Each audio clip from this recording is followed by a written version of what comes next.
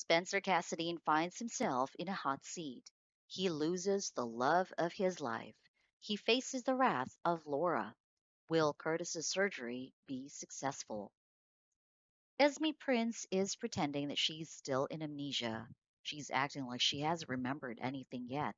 Spencer knows that Esme has regained the memory. In fact, he's the first person to notice.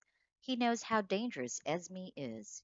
In the meantime, Nicholas Cassadine returned to Port Charles. We thought he got angry at his father, but nothing happened as expected. Nicholas pleaded with Spencer that he wanted to see his son.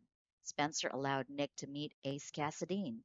He told his father to stay, but left saying the police needed him. He then took baby Ace with him. The evil woman is frantic when she learns that Nick has taken his son with him. What will Esme do this time? Everything is going well between Trina and Spencer. Trina and Spencer are planning to leave for Paris and start living there. Trina plans to go abroad to study. Trina gets furious at Spencer when she learns about Ace. Esme is living with Spencer at Laura's mansion. Trina hates Esme for being a good mother to baby Ace.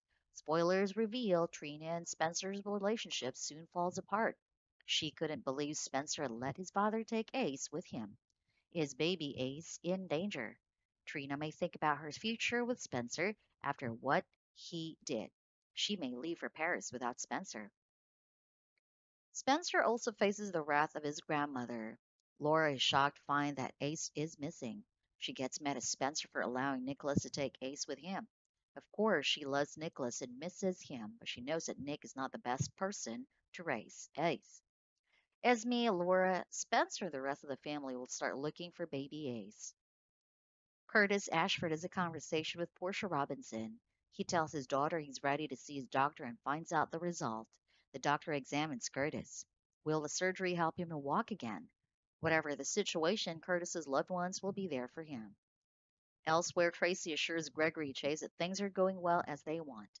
She knows Scott and Lucy are up to no good, so she plans to turn the tables on them. Elizabeth Webber encourages Finn to tackle his anxiety. BLQ lashes out the Harrison Chase for crossing the line with Tracy. What are Scott and Lucy planning to do? Martin Gray tries to get out the information from Lucy Coe about her connection with Scott. Lucy assures Martin that she's in love with him. Lucy and Tracy's feud will continue in the coming days. Don't miss out on the climax that is coming out next.